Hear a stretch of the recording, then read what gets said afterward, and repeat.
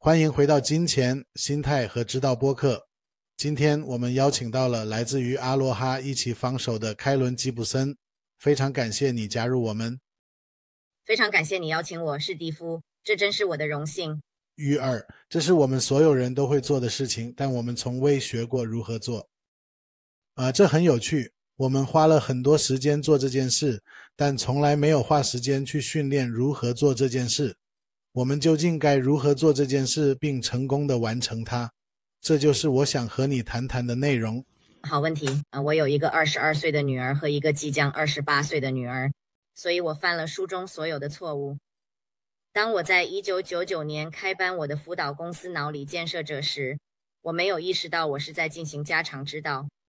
因为家长都会来问我为什么我的儿子不做这个，但我认为这是一个试错的过程。无论你读了多少育儿书籍，参加了多少课程，我们谈论的每个孩子都是不同的，对吧？你的孩子们都是不同的。对一个孩子有效的方法，你会想，为什么这对另一个孩子不起作用，或者为什么会产生相反的效果？因为一个孩子容易相处，另一个孩子则不然。可能只是像妓女呢，或者只是有不同的思维方式。当然是的，我们有三个孩子，他们都非常不同。我们同样爱他们。一方，你听到这一集，呃呃，但他们都非常不同。我们必须以稍微不同的方式处理每一种情况。我觉得有趣的一点是，你已经在脑里建设这座辅导工作这么久了。然后你开始，我不会说是转变，而是增加了一个想法。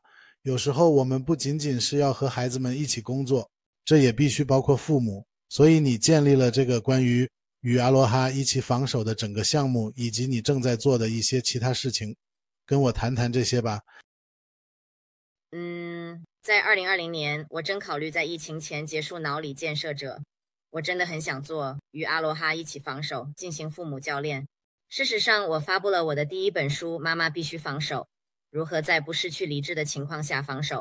我不能向你保证你会保持理智，因为我们在谈论养育孩子，但每个人都想要远程学习辅导。我意识到，哇，我有父母和孩子。心理健康是我们需要玩的游戏，以真正理解情绪管理。